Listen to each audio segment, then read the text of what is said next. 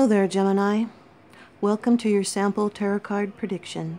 These energies are coming through for the third week of May, the 13th to the 19th. This is a general reading. More specific answers to your questions can be booked by following the links in the description below. When you comment subscribe, you are automatically entered to win a free one question reading. Please press the notification bell to be notified for when you win.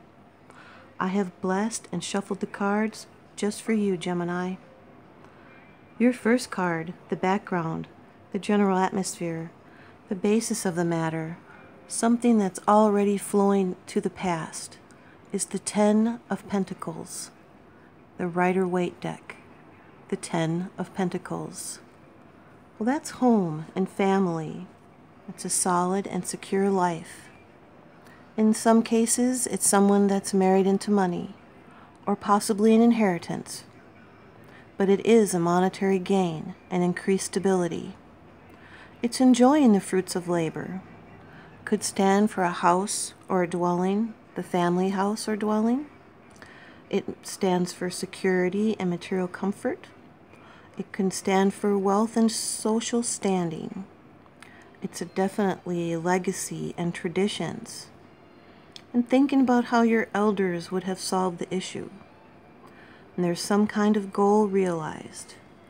You're going to be attending a family function. The immediate influence, that's the second card. It's occurring now, it's crossing over your path. It is the Nine of Pentacles the Nine of Pentacles. That's solitary enjoyment of the good life. Just wanted to like take a little time alone.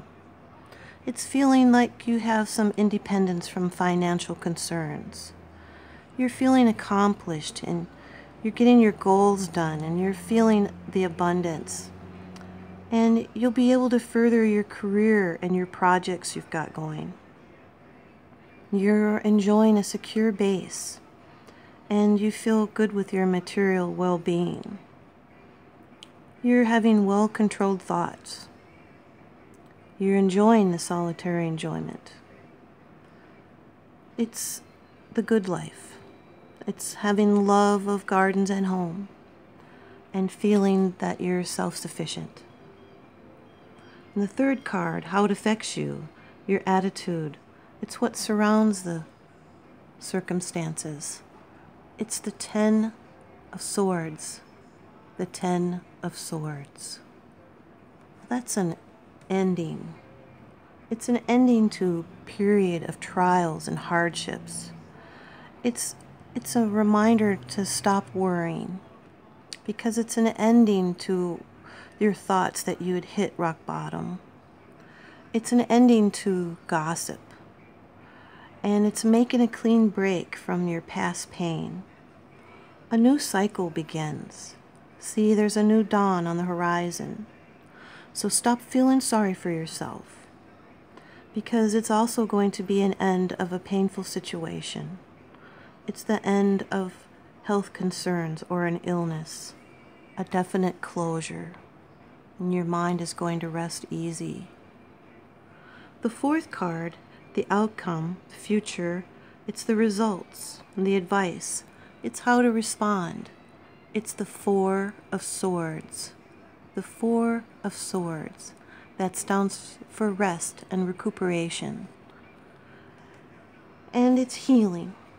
And you're going to be gathering up your strength. You're going to be planning your next moves wisely. And you should be keeping your plans to yourself.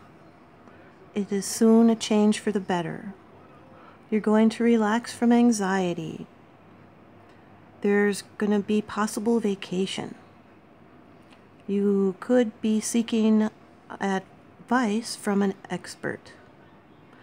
You could be incubating your ideas.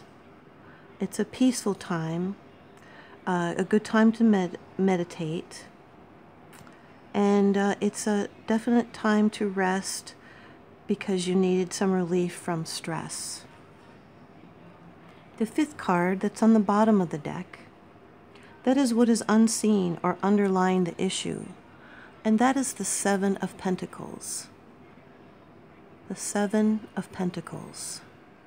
And that's a break, a pause during development. Need to step back and look at what you've already accomplished. It's the harvest yet to come. You are reevaluating. In some cases, it's, it's anxiety about a loan because you're still waiting for that success. And your past efforts will bear fruit with consistent effort. But you have been impatient for results and you have been rethinking. Gemini, I have extra gratitude for your like and subscribe and your comments. I really love your wonderful comments. Remember, what goes around comes around. Keep it positive. Love and light. Thank you.